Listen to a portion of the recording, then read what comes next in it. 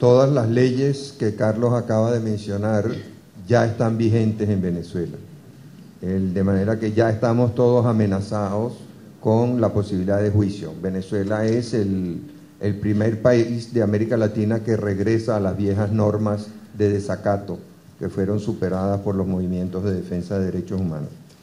En relación con la defensa, en Venezuela eh, hubo eh, protestas inmensas contra el régimen de Chávez.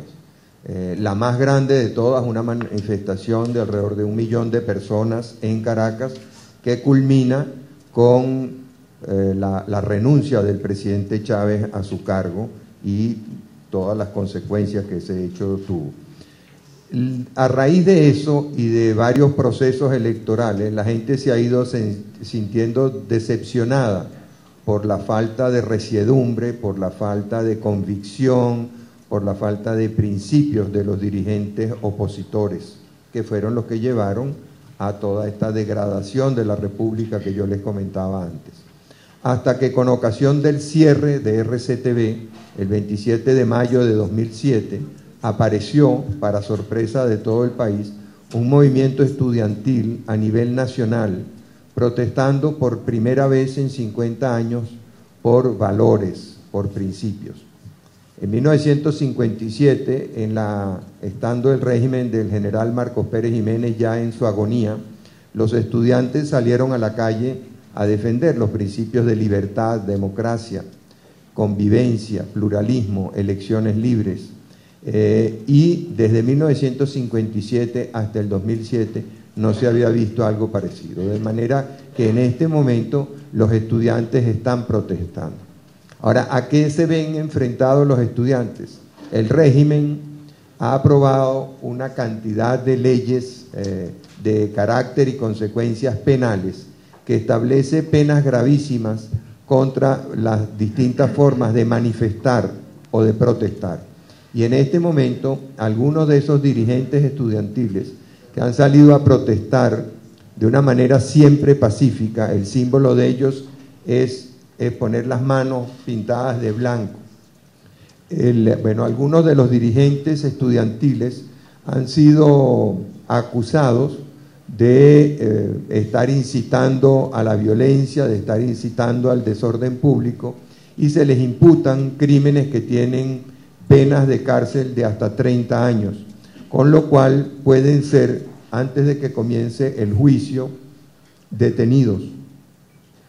De manera que hay mucha preocupación entre los dirigentes estudiantiles por estos señalamientos. El gobierno simplemente los, eh, los imputa, eh, no abre el juicio, no les permite el derecho a defenderse, no les no, no, no acepta el principio constitucional de la presunción de inocencia y los tiene amenazados. A pesar de eso, los movimientos estudiantiles siguen protestando. Y en el campo de la oposición vemos por primera vez eh, una, un interés en ir unidos al proceso electoral. El presidente Chávez ha venido perdiendo popularidad de una manera muy significativa.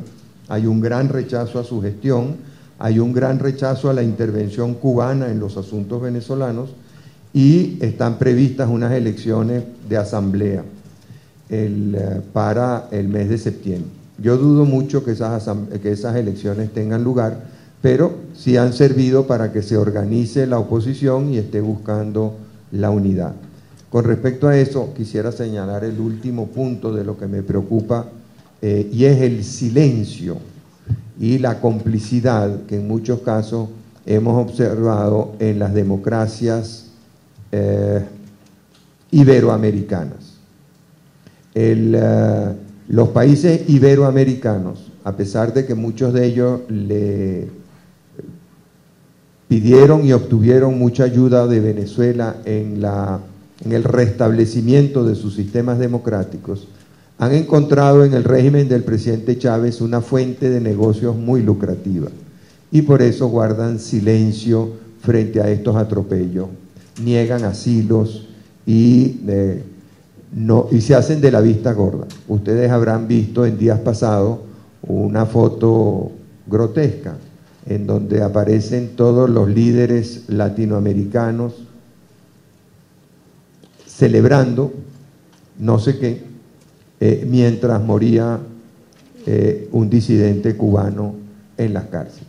Y algunos presidentes muy respetados de América Latina ese mismo día se abrazaban con Fidel Castro con grandes sonrisas y no decían ni una palabra sobre la muerte de un disidente cubano en la cárcel por razones evidentemente políticas. De manera que el silencio no solamente ocurre a nivel interno entre aquellos que están haciendo negocio, el silencio también es un silencio colectivo, es un silencio eh, que ha ido invadiendo todo eh, el territorio iberoamericano.